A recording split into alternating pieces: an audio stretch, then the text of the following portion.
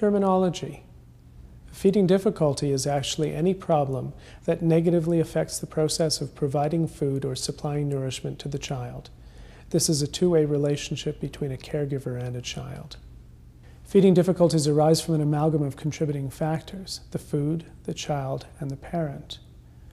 Is the quantity of food presented appropriate? In modern times, parents present their children with high volumes of food. They don't know what the expectations really are of how much food the child needs. But a quantity that is too high can discourage the child's interest in feeding. Is the food developmentally appropriate? There are two common things that we see. On the store shelves, the jarred food, towards about a year of age, starts to have lumps of food in the puree. This is developmentally inappropriate for the child. It's a double consistency food and shouldn't be presented until about four to six years of age. The child who is normal developmentally will swallow the food whole. The child who is not developmentally normal may gag on the food. The challenge is inappropriate for both of these children. Modern day parents also like to present their children with what they consider to be high quality meats. In poultry, for example, this would be the white chicken breast, but this is harder to chew. Dark meat is softer and has a higher fat content, which the child needs. The parents need to be encouraged to present their children with food that they can actually pretty much chew with their fingers. The other two factors include the child and the feeders. Does the child have an evident appetite or a difficult temperament, underlying sensory difficulties or oral motor dysfunction? Do they have an acute or chronic underlying medical illness? Are the feeders creating an appropriate feeding environment? Is there too much control or too much pressure on the child?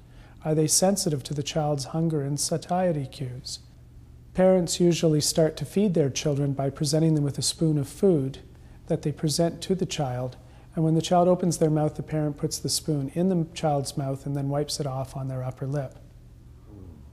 The actual way to present the food to the child is to present them with a spoon placed about an inch in front of the bottom lip, and then wait. The child will open their mouth and come and take the food off the spoon when they're ready. This allows the child to be an active feeder, paying attention to their appetite, rather than a passive feeder relying on their parents' guess. Are the parents overly anxious about the feeding, and do they convey this anxiety to the child?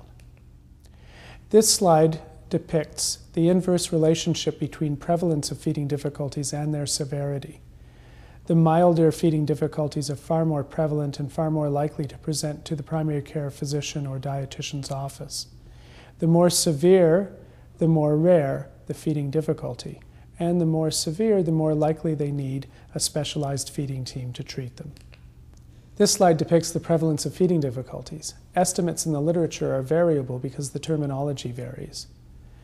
In a study identifying children by parent self report as having picky eating, the prevalence is as high as 50 to 60 percent. More specific diagnoses, such as selective eating, brings the prevalence down to 25 to 35 percent, still a high number. And in prolonged and more difficult feeding difficulties, 1 to 2 percent.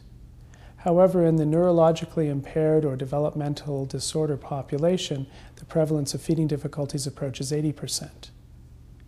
In this table, a study by Carruth et al. on parents' self-reported feeding difficulties in their children demonstrates at 19 to 24 months a prevalence of up to 50%, while at 4 to 6 months the prevalence is 19%, still a high rate.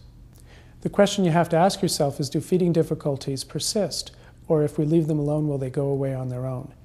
In this study by Dahl et al., they took a look at children who had an early identification of early refusal to feed in infancy and followed them at nine years of age compared to controls without early refusal to feed.